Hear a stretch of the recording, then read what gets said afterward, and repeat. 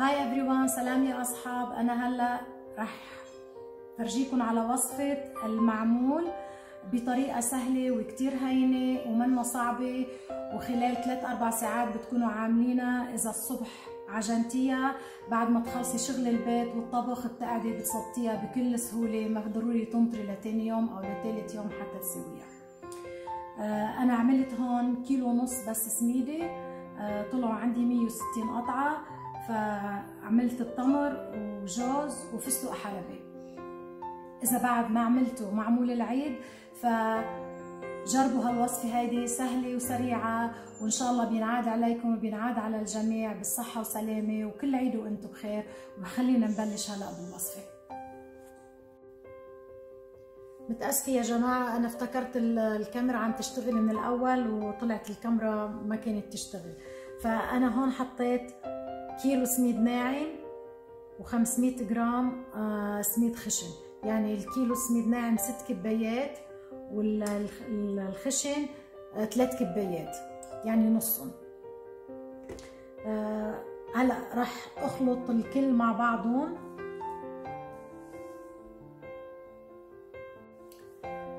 متأسفة مرة تانية لأنه الفيديو رجع وقف مرة تانية معي حطيت أربع معالق سكر كبار بهاي معلقة الطعام المنعير فيها وحطيت معلقة محلب كبيرة كمان. هيدا المحلب يلي بستعمله من الجرين فالي. وسميدي مرة تانية بدي أذكر هيدا نوع السميدي يلي استعملته فيكم تستعملوا أي نوع سميدي موجود عندكم بيمشي الحال. كيلو ناعم يعني ست كبايات ونص كيلو خشن ثلاث كبايات. هلا بدي أخلط هيدي الكمية كلياتها مع بعضها شوي.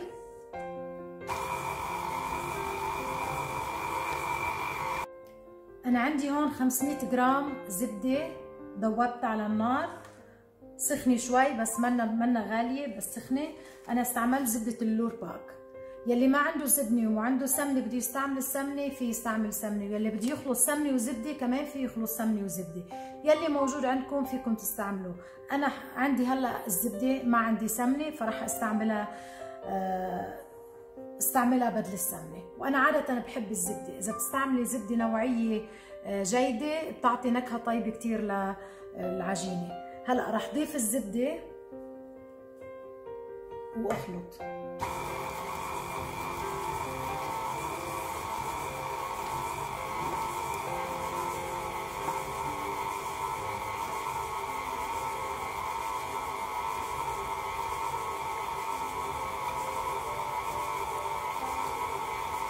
يلي بيحب يخلط على ايده ما في مانع يخلط على ايده بس أنا حبيت استعمل العجانه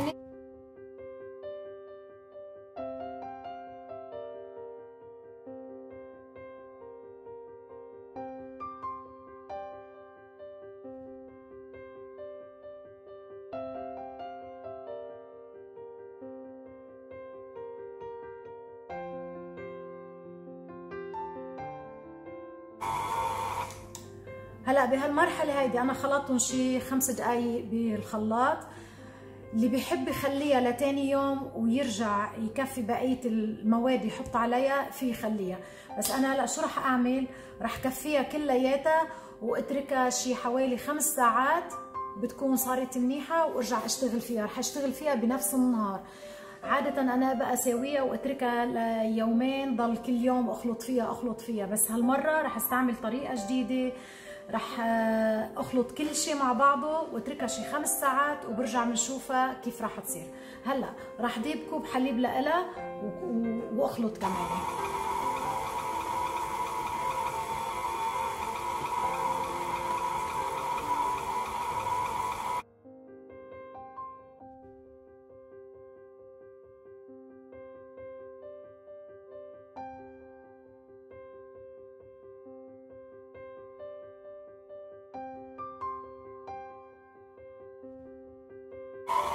زيد لها بعد نص كوب مي كمان.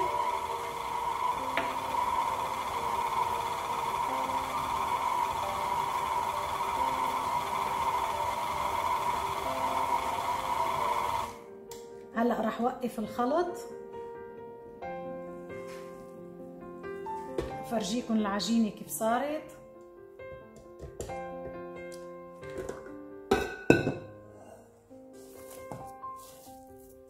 هاي العجينة هيك طرية. بس بدنا نتركها خمس ساعات منشان حتى السميد تفتح وبنرجع بنشتغل فيها.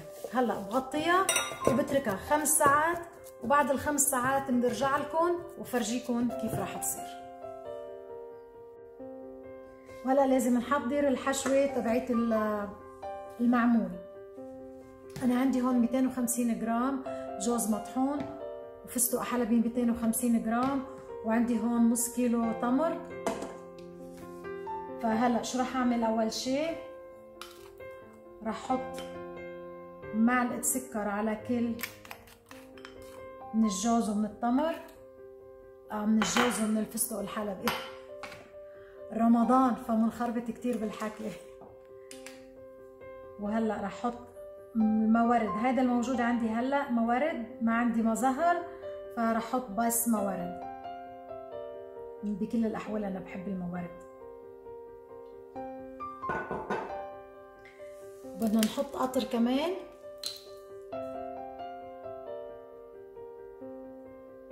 رح أحط معلقتين قطر بالأول. أنا عم بستعمل المعلقة يلي للعيارات.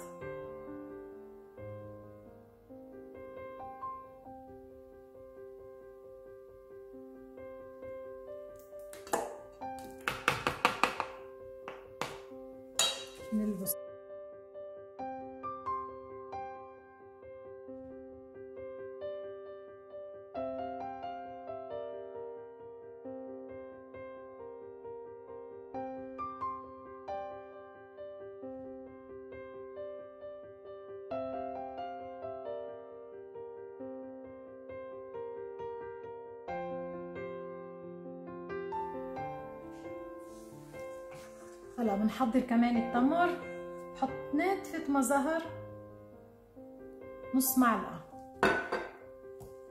وراح أحط زيت معلقة صغيرة. بدعكم ببعضهم. هلأ في ناس كتير بتحط مطيبات أكتر بيحطوا قرفة بيحطوا آه، فانيليا معهم بيحطوا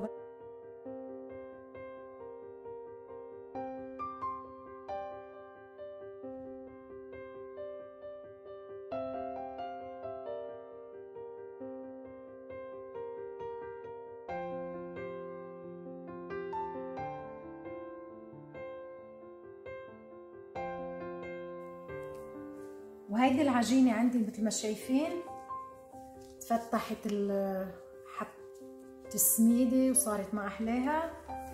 يعني أخذت هاي بعد ثلاث ساعات حتى ما تركتها لخمس ساعات ولا شيء بعد ثلاث ساعات. فهلأ شو راح أعمل؟ بحط لها نص معلقة خميرة. هاي الخميرة عندي وهيدي نص قد إيه نتفة مي نص كباية شاي مي وهيدي الخميرة نص معلقة صغيرة. لأنه ما بدها خميرة كتير بنحط الخميرة على طول دغري قبل ما نبلش. لأنه ما بدنا إياها تخمر. بندوب الخميرة منيح.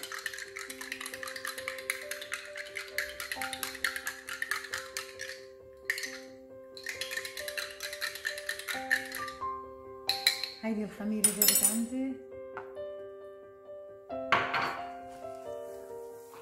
هلا بعجنها فيها. العجينة كتير منيحة.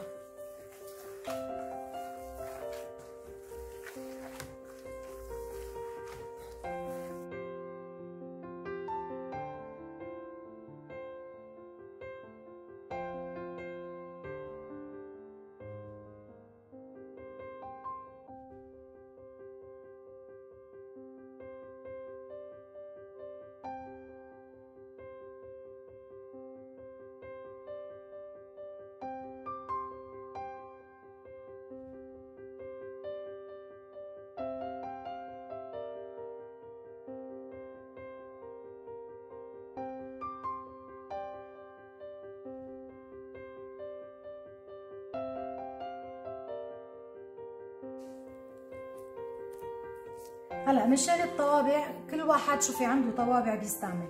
أنا عندي هالطوابع البلاستيك بس بضغط على ال...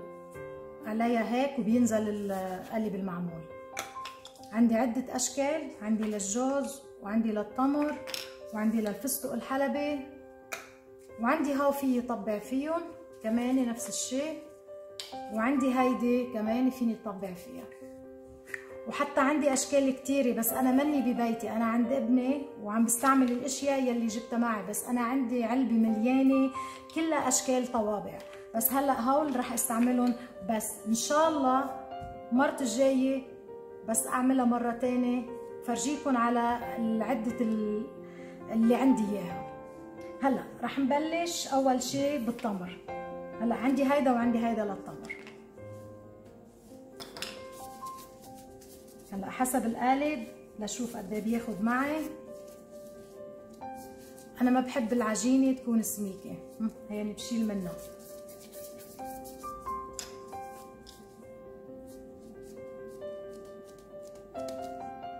شايفين؟ هلا كل اللي بدي أعمله هون بس بضغط على هاي. هيك بينزل. هيدي هي. هلا رح اعمل لكم وحدة بهاي. هيدي أكبر.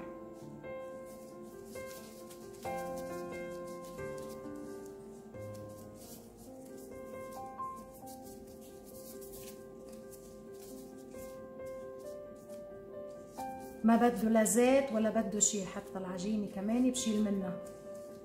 يعني ما تتلبكوا ابدا كثير المعمول طلع كبير بتشيلوا منه طلع صغير بتزيدوا عليه. يعني المعمول شغلته سهل كتير. هلا كمان بكبس عليها ها؟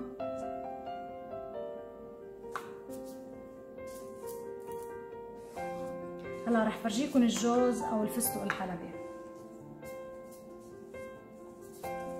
هلا الفستق الحلبي أنا بوسعها هيك.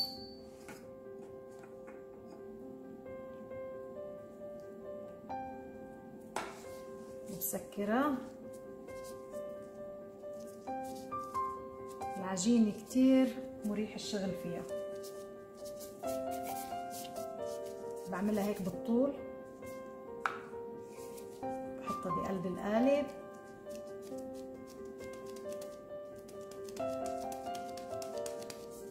كمان نفس الشيء بضغط عليها. وهيدا الفستق الحلبي رح أعمل وحدة بالجوز يلي بالجوز عندي اياهم القوالب صغار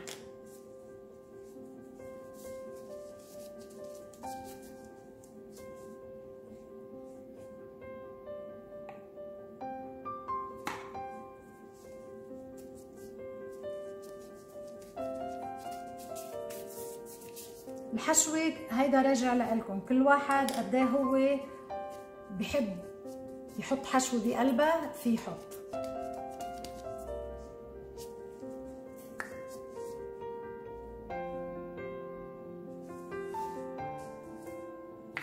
نعمل وحدة تانية كمان بال بالجوز. هيدي صغيرة.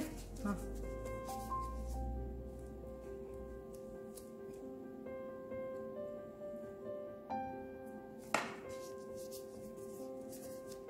الله يرحم أيام زمان. كنا كنا على طول نجتمع الجيران وكلياتنا نجتمع ونقعد نشتغل بالمعمول للعيد. أو كعك العباس إذا الواحد منه قادر يعمل المعمول لأنه شوي بكلف أكتر كعك العباس بكفي. وبشوفكم بعد ما أخلص. وهيك أنا خلصت هلأ التمر. كلياته الفرن حامي رح ادخله على حرارة 180 وكفي أعمل الجوز والفستق الحلبي.